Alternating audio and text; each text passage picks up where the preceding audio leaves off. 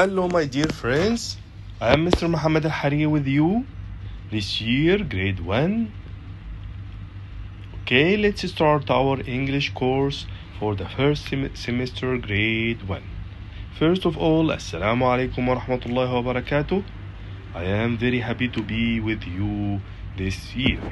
Okay, let's start our English course for the first semester.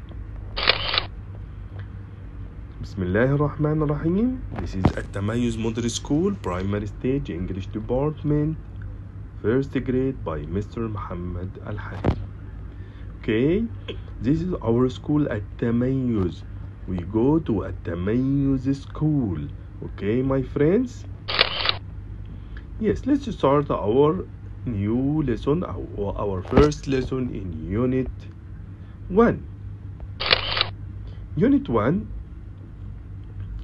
First of all, this is our English book. Okay, this is our Fun with English grade 1A. You have to have this book in your bag and uh, and study it at home in your school first or 1A grade 1A. Okay, this book is modified modified معدل Fun with English. Okay, you have to have this book your red book with you anytime you study english. Okay my friends this is modified fun with english grade 1a pupils book. This is our first unit hello. Okay my friends hello. Let's start studying. Yes look here shabab. First of all we have three characters to study. Okay, character number one is funny. Funny is our funny character in our English course. Okay, يا شباب, he is so funny. You can watch it all your course. Okay. Next we have Ali. Ali is our main character. Uh, Haya is uh, uh, our second main character in our course this year. Ali and Haya are brother and sisters, okay? Now let's listen to this song.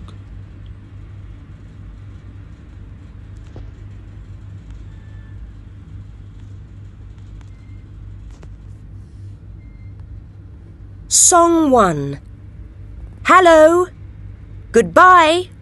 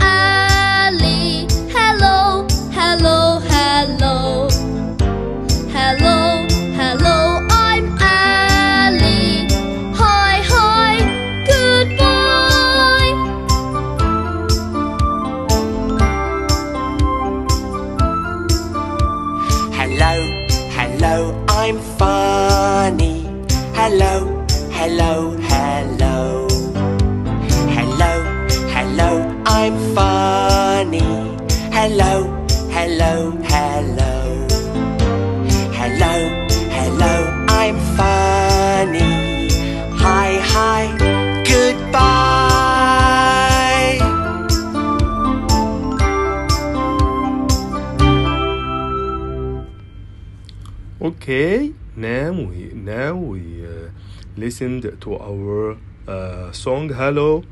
Let's start.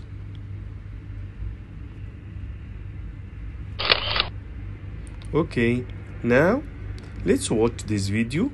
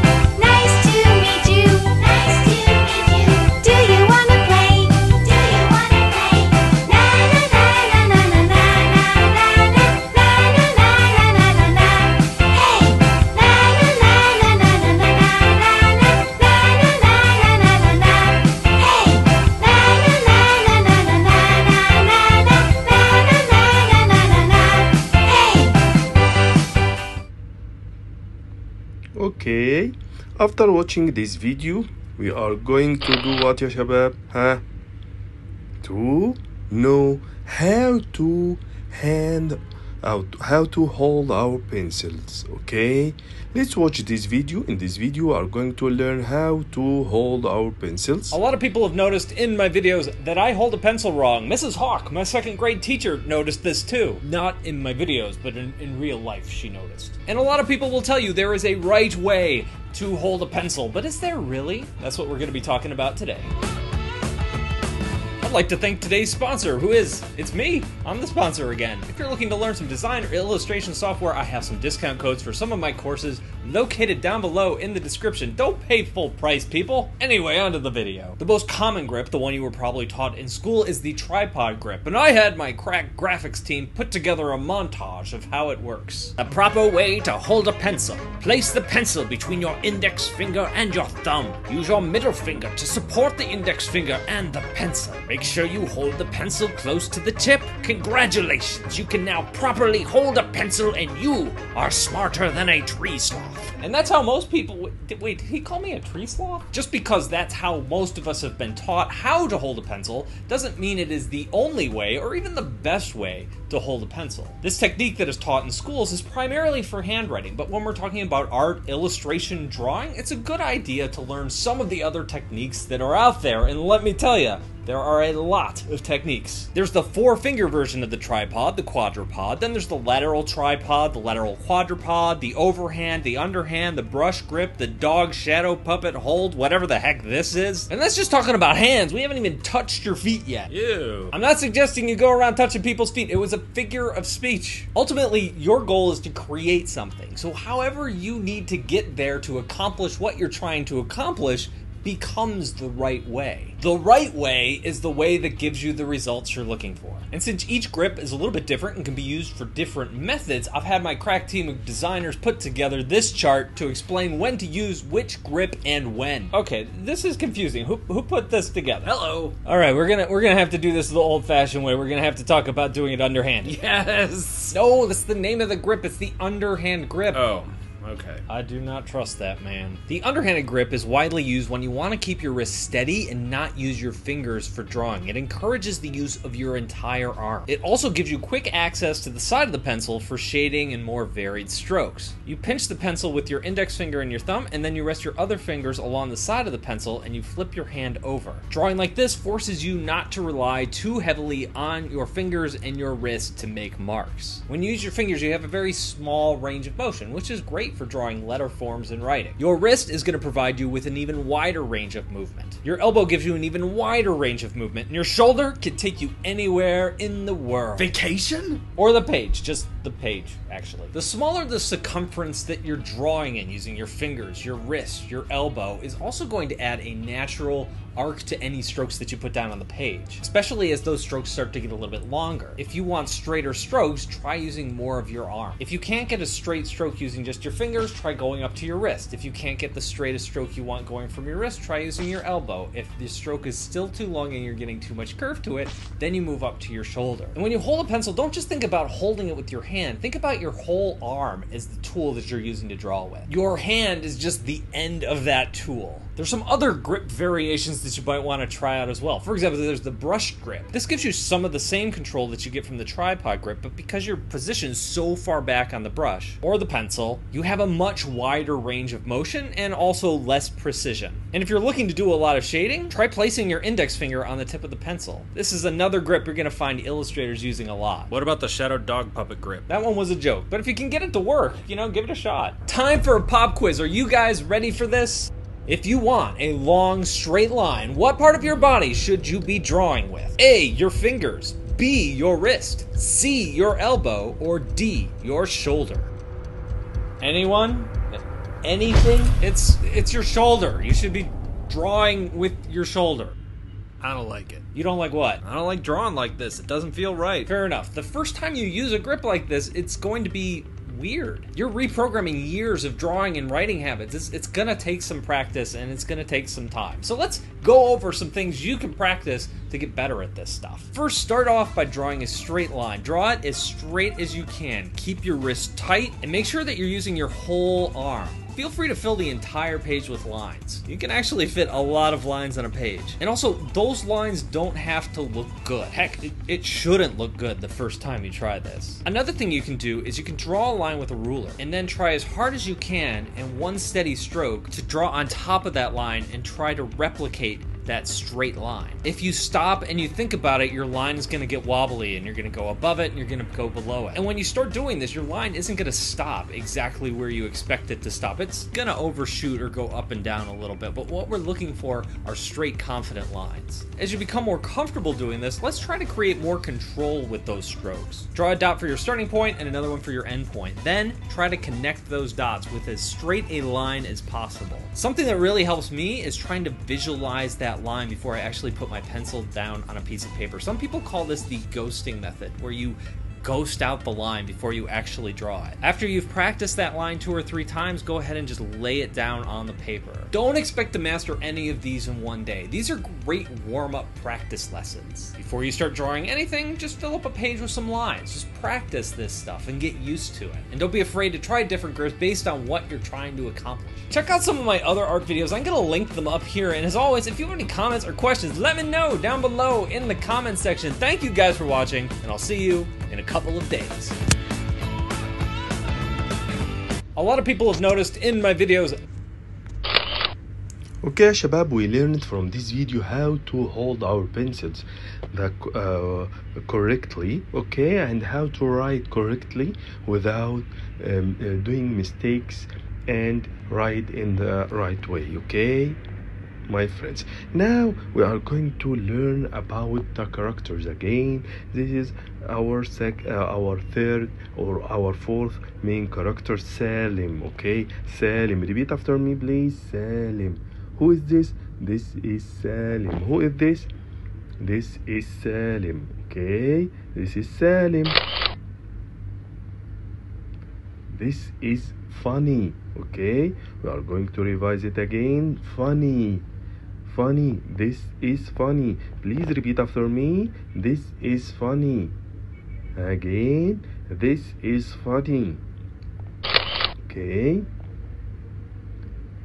and this is Dana this is Dana this is Dana Dana and Salim are brothers and sisters okay this is Haya this is Haya. Okay, repeat after me, please. This is Haya. This is Haya. Okay. This is Ali. This is Ali. This is Ali. Say, say it again. Repeat after me. This is Ali. Okay. يبقى ها we have what? we have from the beginning here Salim okay then funny then Dana Haya Ali okay now we learned them now open your book, page number 16. Look and listen. Okay, you are going to look and listen here.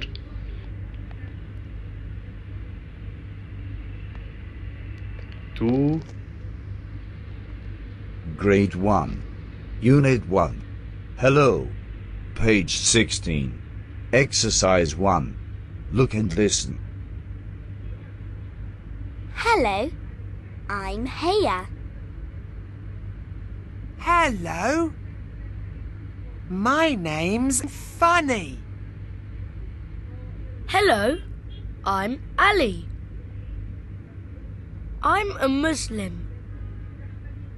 Okay, let's listen again to our lesson. Okay, my friends. Grade 1, Unit 1. Hello. Page 16. Exercise 1. Look and listen. Hello, I'm Haya. Hello. My name's Funny. Hello, I'm Ali. I'm a Muslim. Okay, my friends, you have to study this at home. Grade 1. Unit Now يا شباب we have to trace huh? this uh, this is uh, in our book page number 17 exercise number 3 we have to trace my friends okay? How can we trace? We have to hold our pencils correctly and start from left to right from here to there from left to right and try to follow the dots until the end of the line okay? We have to draw it correctly my friends and trace it correctly to look nice we have to move it correctly from left to right. Of course uh, our um, uh, uh, exercise number four also is tracing. Today we are going to trace uh, exercise number four from left to right to reach to the airplane okay we have to write it correctly from left to right. Okay my friends you have to follow the dots and do it correctly. Now we reach it to our to the end of our lesson today. Okay see you inshallah in our next lesson. Goodbye my friends. Goodbye. See you later. Goodbye